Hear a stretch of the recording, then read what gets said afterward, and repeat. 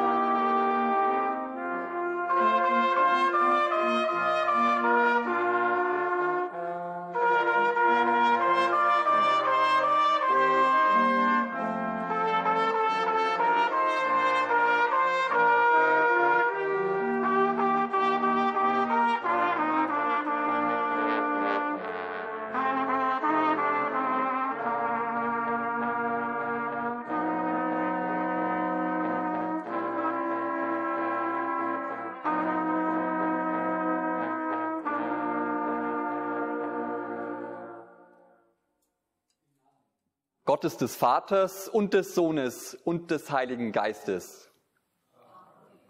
Der Herr sei mit euch. Und damit hallo und herzlich willkommen zu unserem Gottesdienst hier in unserer Töbener St. Martinskirche. Schön, dass Sie, dass ihr da seid, hinter den Kameras, an den Bildschirmen und hier vor Ort. Gelobt sei Gott, der mein Gebet nicht verwirft und seine Güte nicht von mir wendet, heißt im Psalm 66. Das ist unser Wochenspruch. Hohe Erwartungen, große Hoffnungen, die auf das Gebet gesetzt werden. Kann das Gebet diese Hoffnungen und Erwartungen erfüllen? Welche Erfahrungen verbinden wir damit? Darum wird es heute in der Predigt gehen. Und natürlich wollen wir auch beten, gerade am heutigen Sonntag, denn wir feiern Rogate. Betet. Und Gott, Gott ist dabei, wenn wir das jetzt tun. Gemeinsam singen, hören und beten. Amen.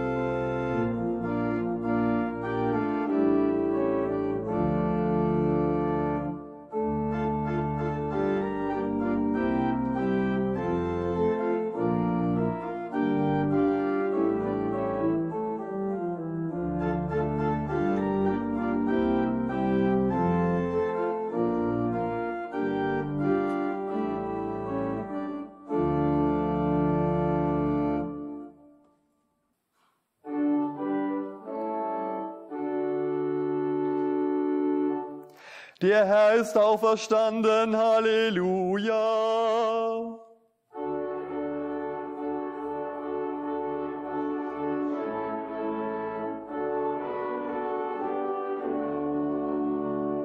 Was sucht ihr den Lebendigen bei den Toten?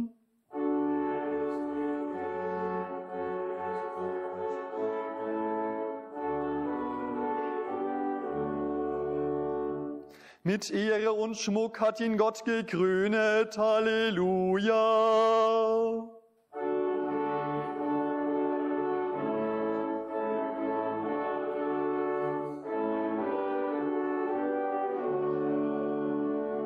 Ihr sei dem Vater und dem Sohn und dem Heiligen Geist.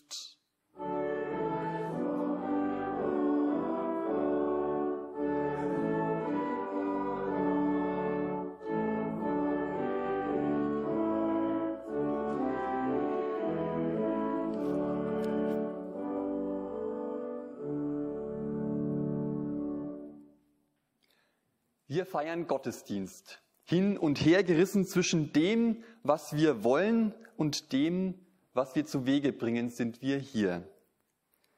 Wir wollen mit Gott reden und finden nicht die rechten Worte. Wir wollen zu Gott beten und finden nicht die rechte Zeit. Wir wollen uns Gott anvertrauen, allein uns fehlt das Vertrauen. Wir wollen uns anderen zuwenden und bleiben doch mit uns selbst befasst.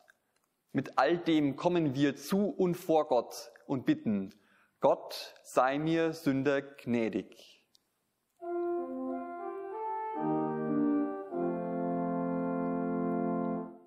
Kyrie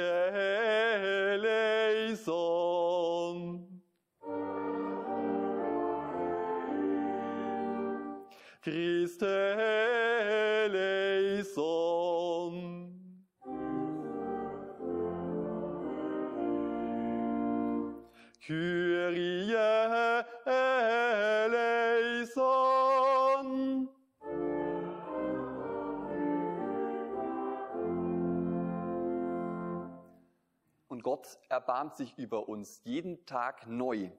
So spricht Gott. Ich bin der Herr, dein Gott, der dich lehrt, was dir hilft und dich leitet auf dem Weg, den du gehst. Amen.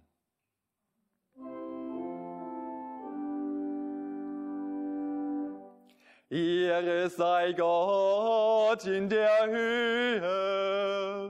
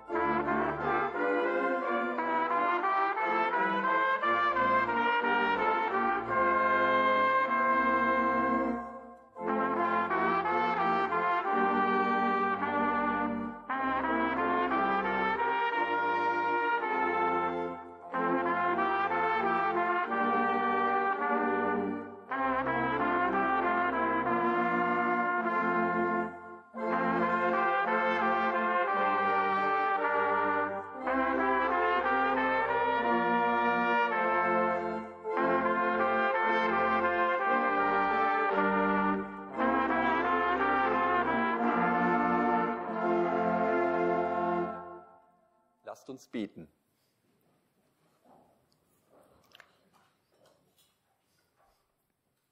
Gott, Vater und Mutter, dich rufen wir an. Wir sehnen uns nach dir. Gib uns den Mut zu warten, die Kraft zu drängen und dann bring deinen Frieden und deine Freude durch uns in die Welt. Das bitten wir durch Jesus Christus, unseren Freund und Bruder. Amen. Die Lesung für den heutigen Sonntag steht bei Lukas im elften Kapitel.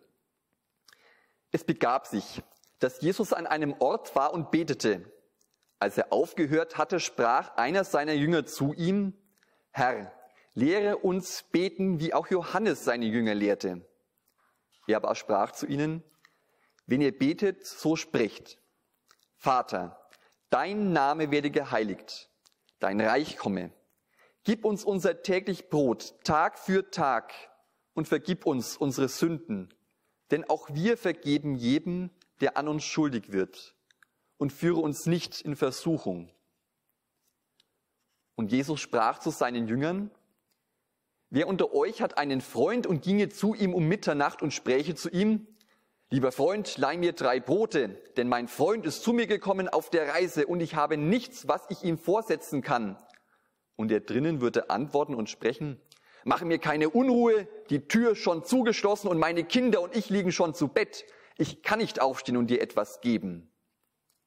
Ich sage euch, und wenn er schon nicht aufsteht und ihm etwas gibt, weil er sein Freund ist, so wird er doch wegen seines unverschämten Drängens aufstehen und ihm geben, so viel er bedarf.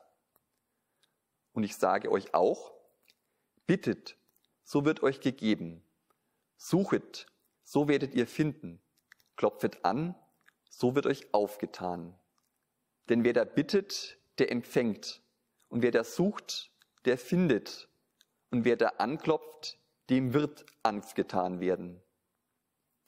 Wo bittet unter euch ein Sohn den Vater um einen Fisch und der gibt ihm stattdessen Fisches eine Schlange? Oder gibt ihm, wenn er um ein Ei bittet, einen Skorpion? Wenn nun ihr, die ihr böse seid, euren Kindern gute Gaben zu geben wisst, wie viel mehr wird der Vater im Himmel den Heiligen Geist geben denen, die ihn bitten. Amen. Lass uns gemeinsam unseren christlichen Glauben bekennen. Ich glaube an Gott, den Vater, den Allmächtigen, den Schöpfer des Himmels und der Erde und an Jesus Christus, seinen eingeborenen Sohn, unseren Herrn, empfangen durch den Heiligen Geist, geboren von der Jungfrau Maria, gelitten unter Pontius Pilatus, gekreuzigt, gestorben und begraben, hinabgestiegen in das Reich des Todes, am dritten Tage auferstanden von den Toten, aufgefahren in den Himmel, er sitzt zur Rechten Gottes, des allmächtigen Vaters. Von dort wird er kommen, zu richten die Lebenden und die Toten. Ich glaube an den Heiligen Geist, die heilige christliche Kirche, Gemeinschaft der Heiligen, Vergebung der Sünden, Auferstehung der Toten und das ewige Leben. Amen.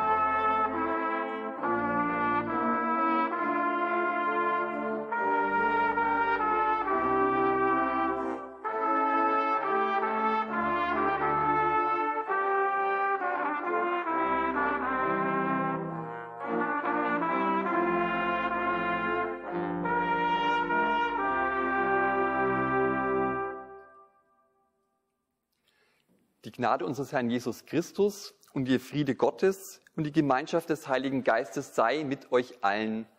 Amen. Ding dong, es klingelt. Ich gehe zur Tür und stehe einem Känguru gegenüber. Ich blinze. Gucke hinter mich, schaue die Treppe runter, dann die Treppe rauf, gucke geradeaus. Das Känguru ist immer noch da.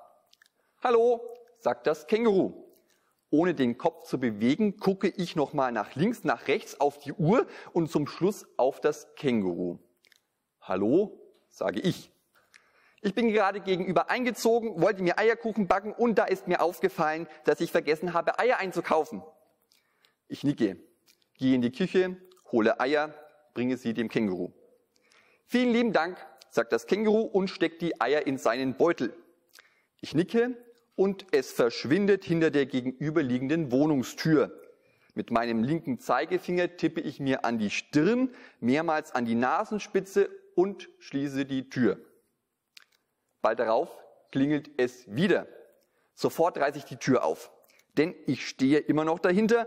Oh, sagt das Känguru überrascht, das ging aber schnell. Äh, gerade ist mir aufgefallen, dass ich auch gar kein Salz habe. Ich nicke, gehe in die Küche und komme mit dem Salzstreuer wieder. Vielen Dank.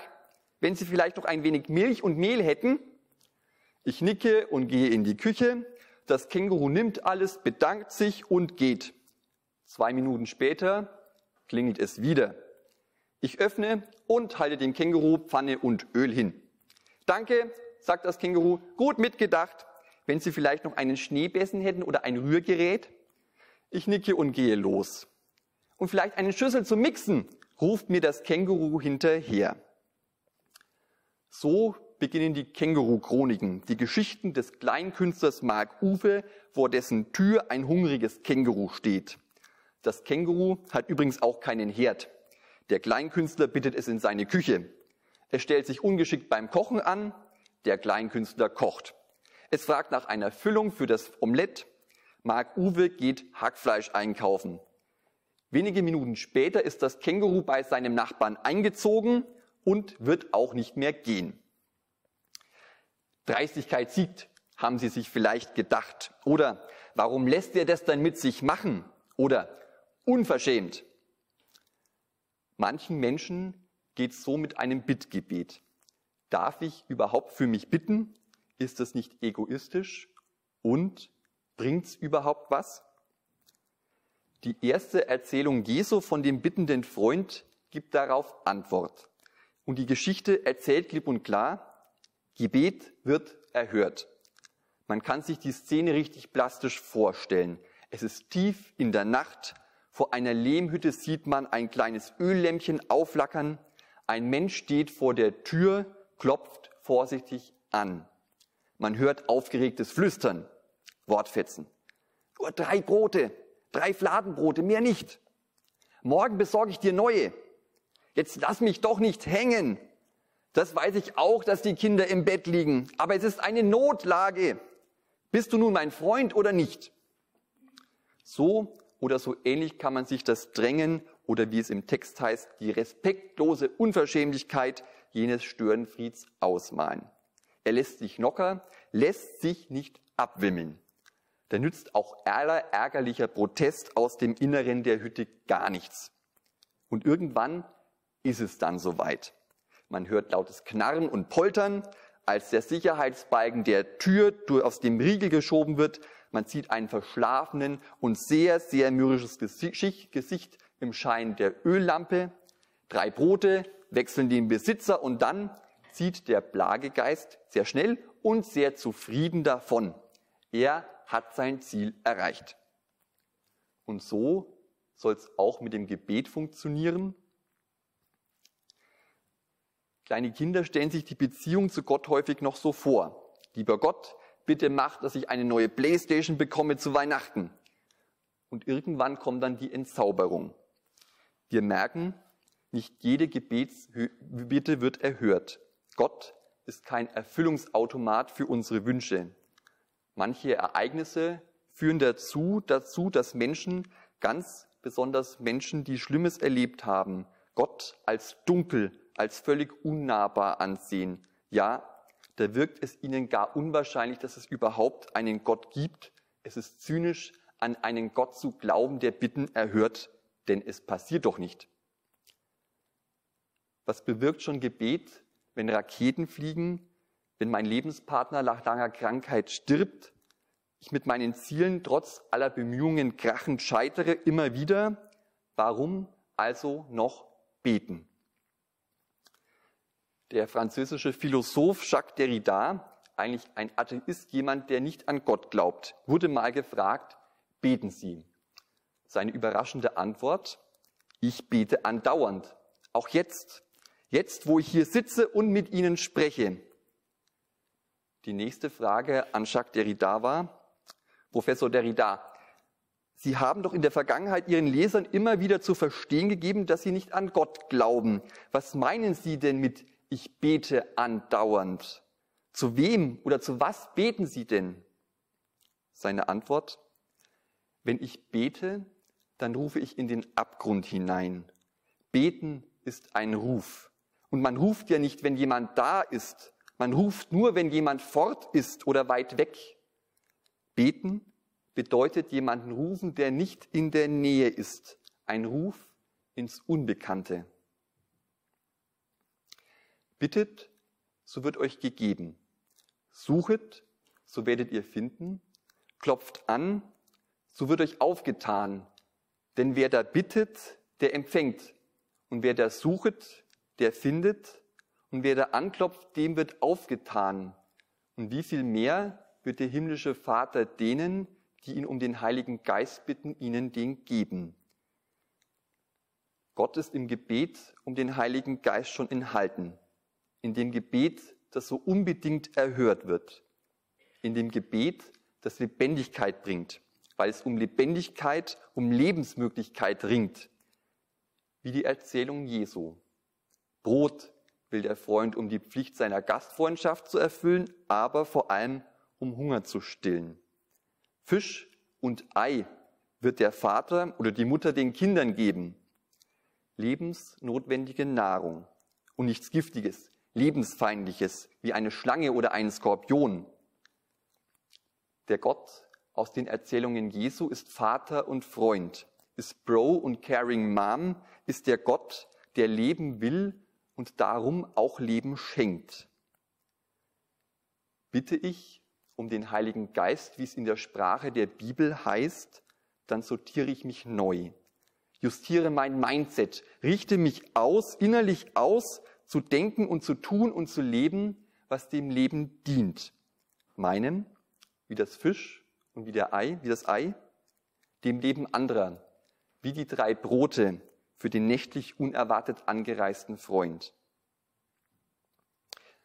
Vielleicht sind jetzt manche skeptisch, aus Erfahrung, mit klugen Gedanken, die sie sich gemacht haben, vielleicht einer Depression, aus der es keinen Ausweg gab, die immer wieder kam, oder noch anderen, Erfahrungen, die verzweifelt machen und auch wütend. Ich stelle eine Erzählung daneben. Der Kommunikationsforscher Paul Watzlawick erzählt mal folgende Geschichte. Ein Mann will ein Bild aufhängen. Den Nagel hat er, das Bild hat er, aber der Hammer ist futsch. Der Nachbar hat einen. Also beschließt unser Mann hinüberzugehen und ihn sich auszuborgen. Doch da kommen ihm Zweifel. Was, wenn der Nachbar mir den Hammer nicht leihen möchte? Gestern, da grüßte er schon nur so flüchtig. Vielleicht war er in Eile, vielleicht hat er was gegen mich.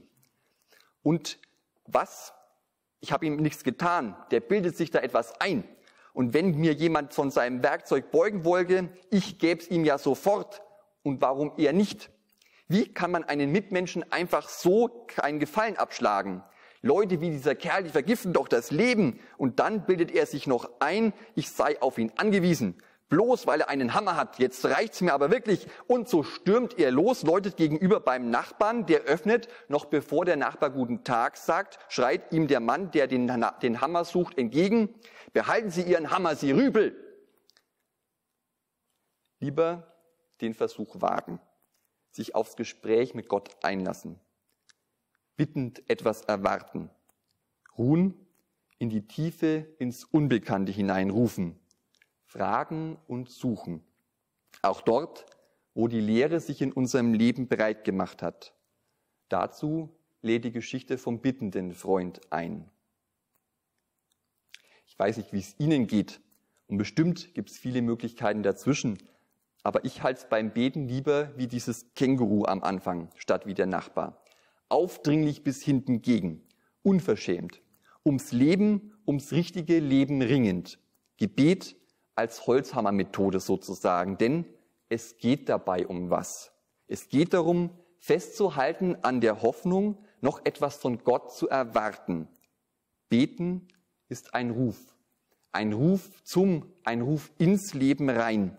Ein Ruf nach Lebendigkeit, nach einer neuen, einer anderen Wirklichkeit. Wer noch betet, der macht das Ja größer als das Nein. Der hat die Hoffnung noch nicht aufgegeben, dass da jemand ist, der hört, der mitgeht, der aufmacht. In dieser Hinsicht möchte ich bei Gott trotz allem Sturm läuten für mich und für andere. Denn bittet, so wird euch gegeben. Suchet, so werdet ihr finden. Klopft an, so wird euch aufgetan. Denn wer da bittet, der empfängt. Und wer da sucht, der findet. Und wer da anklopft, dem wird aufgetan werden.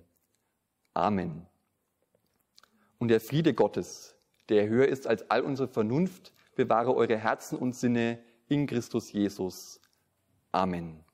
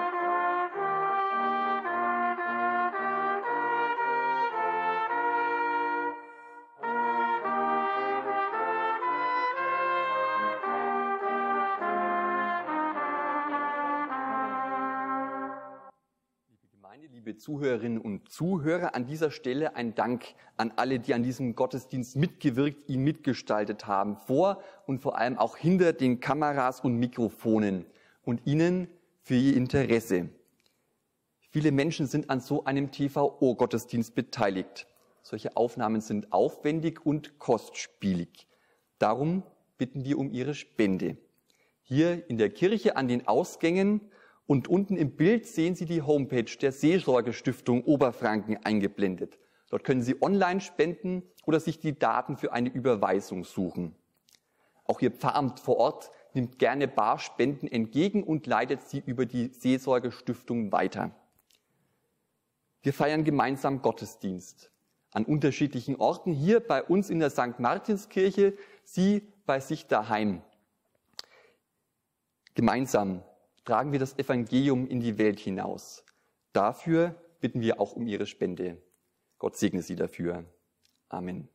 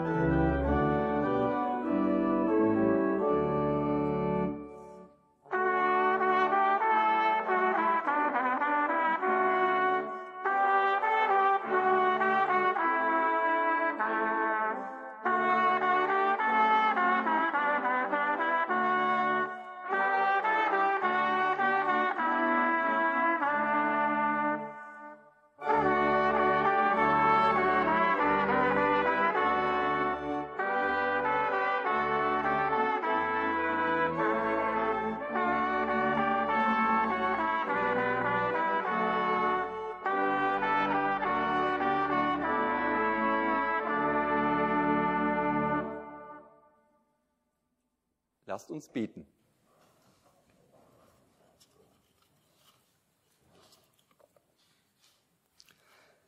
Alles, was uns im Leben bewegt, dürfen wir vor dich bringen, Gott. Du hörst uns und erhörst uns. Oft anders, als wir es uns wünschen. Und doch findest du Wege, die wir gehen können. Wir danken dir, dass wir uns dir anvertrauen dürfen. Wir bitten dich für alle Menschen, Gott, die verlernt haben zu beten, weil sie das Vertrauen in dich und ihren Glauben verloren haben. Gemeinsam beten wir, sende deinen Geist, sende deinen Geist. Wir bitten dich für alle Menschen, Gott, die nicht dankbar sein können, weil sie nur auf das blicken, was sie nicht haben und was nicht in Ordnung ist in ihrem Leben. Wir bitten dich, sende deinen Geist. Wir bitten dich für alle, Gott, die zu stolz sind, um etwas zu bitten, weil sie meinen, alles aus eigener Kraft leisten zu müssen. Wir bitten dich, sende deinen Geist.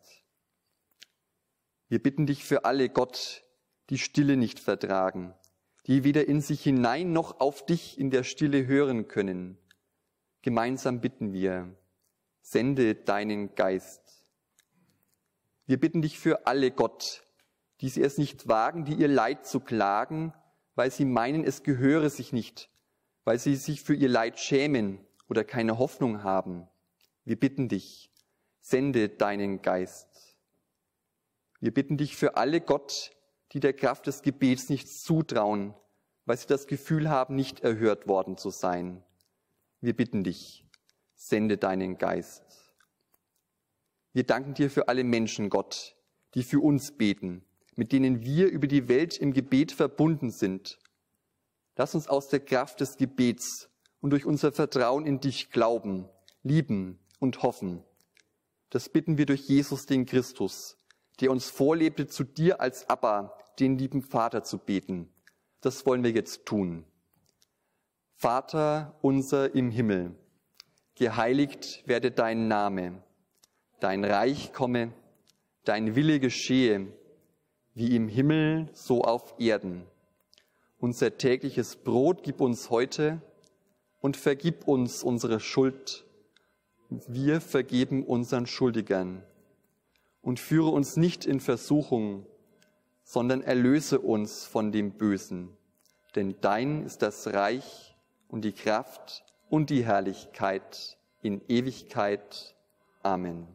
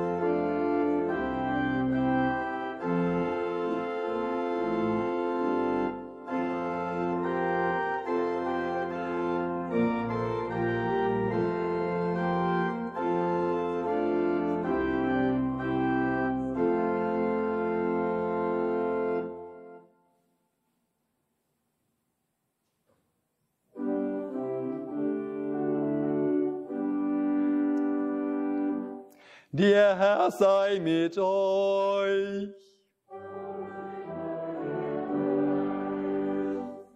Gehet hin im Frieden des Herrn.